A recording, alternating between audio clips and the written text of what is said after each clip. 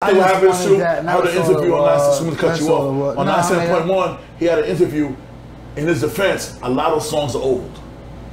He didn't do it to this era. He had the songs put away. He I said don't know. he I- said that, No, Ron. no, Ron, I no. heard him say, Ron, I'm not Ron, I'm being up Ron, you know how we talk. I heard him say it on um um Ebo, who I told you was I look up to Ebo kind of on um journalist tip, that Nas said a lot of these songs were old songs he forgot about. So I don't know which is old, which is new. So, so, So- my, so no, my base of the story for you to even say that about Nas means that he was just even if they was new, he still was saying the same content Yeah, that's that it. he gave us in nine, you know, in the nineties. So he was just supposed to just up his literature because he's a fucking genius. Oh, he's a Way big smarter genius. than me. Um, Nigga, I, just, I, I want him to just bust their ass. All right, well- but so now back to the story. If Jay Z came out right now, he'd have killed these little niggas. No, Jay don't fuck around. No. Hey, nigga, coming. he would, nigga, I he- think- I gotta you little coming. dumb. They're like, I think- oh my. I think Hope is coming.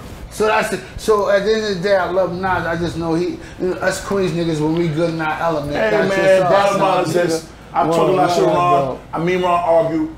Jay Z and Nas again. I think is the best. Nas is top five lyricists of all time. Now, there's something else. Now, Mm-hmm. Ron is so embarrassed about this topic.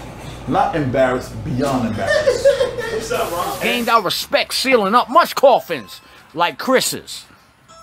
I'd have sealed your shit. If Marley would have made that motherfucking beat, nigga, I'd have sealed your fate.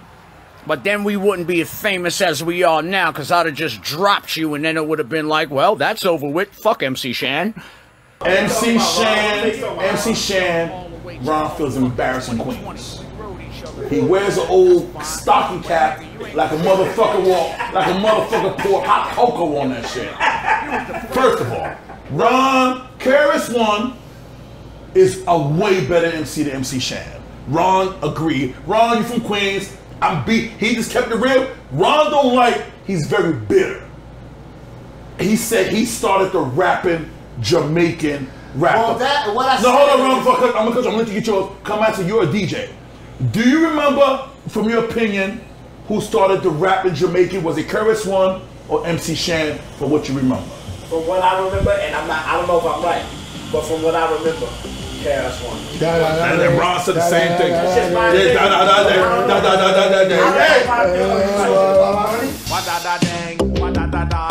Hey, listen to my nine millimeter go bang. Da da da da da. da da da da da. Hey, this is KRS1. Been to a crack dealer by the name of Peter. Had to buck him down with my nine millimeter. He said I had his girl. I said, now what do you say? Stupid? But he tried to play me out, and KRS1 knew it. He reached for his pistol, but it was just a waste. Cause my nine millimeter was up against his face. He pulled his pistol anyway, and I filled him full of lead. But just before he fell to the ground, this is what I said. Talking about money. No, Mitch, Mitch, not money, Mitch. MC Shan got his money because he did Snow, the performer. You're a white dude that sang all that Nigga, shit. you That's know, Mitch just wanted a shout out for the white dude. But he, he was good. He was good all night. I'm talking about She was good. He, Mitch was good all I used to night. mess No, with no, but my question, all the way but, but my question, Bring- Flush. back, my bring it question, you Flush, is it, yeah. Mitch, my man, Mitch always jump out there. Mitch, He's doing good with us. Mitch doing great today. Mitch be Yes, bugging yes, sometimes. yes. So now my point is, Ron sent me a lot of videos. Ron love Queens, like I love Manhattan.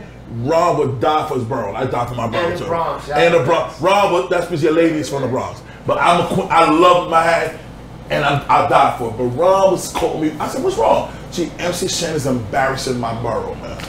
He's so mad at the world. He's still talking about this KRS One shit. And I try to take up with it. Ron said, Garrett's no compare. KRS One got a hit after hit after hit after hit. MC Shan got one record, G. so, Look at my man in the flesh. Plus, like, damn. And y'all for Queens. Oh, actually, one, two, oh, I'm five against one. So listen, listen. Here's here's what I said. I I I'm proud of Shan. Don't sugarcoat this shit, I'm, motherfucker. I'm not. I'm not.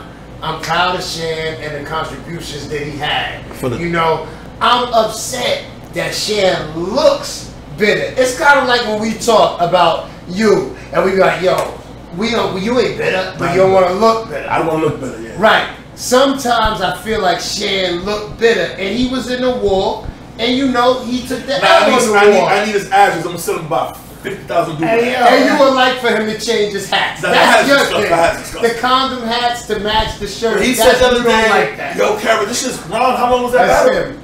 That's me. I'm from Matt. Say what I want to say. Yo, Queens, you gotta protect me. No. How many years ago was that battle, Ron? I'm not protecting him. How long was that battle? How many years ago was that battle? Whatever the beef. It was a lot of About years ago. I was a kid. I was I was 12. Might be longer than that. No, no, I was 12. It's like 33 years ago. So why is he still talking about this shit?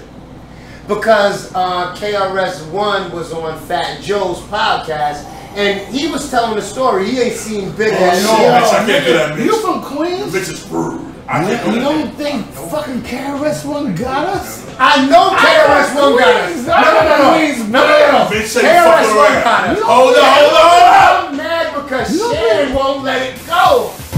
Coming in the dance with the slipper sense.